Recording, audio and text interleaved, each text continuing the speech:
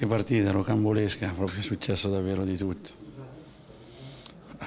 Beh, da, da dove vogliamo partire? Dalla, dalla Siamo dal brutto primo tempo del Gubbio, poi passiamo al secondo tempo. fare, io dico, oggi sono andate oltre le, quelle sono le possibilità e giocare in questo modo si fa fatica. Fino a quando la squadra non è al completo e non ha, si fa fatica a dare un equilibrio al gruppo, un equilibrio alla squadra.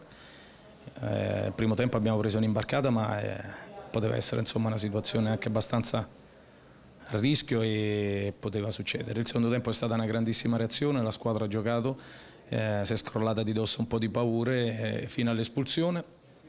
L'arbitro non ha avuto lo stesso metro di giudizio e, e alla fine si è perso.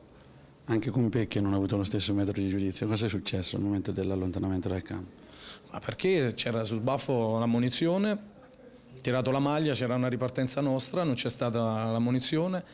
Successivamente sull'area di rigore, in area di rigore, la maglia tirata di Ciofani e ho perso la testa. Sì, insomma, ci sta che insomma, in una situazione del genere ha voluto prendere una decisione a mio avviso esagerata perché era tutto nella, eh, insomma, abbastanza nella norma questa reazione, niente di sproporzionato.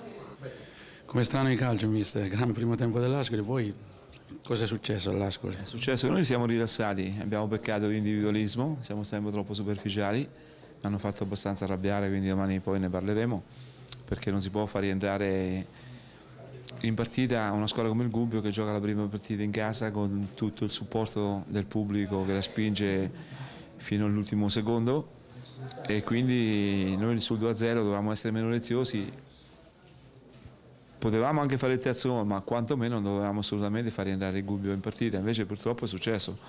Quindi dobbiamo crescere sotto questo aspetto qui nella gestione delle partite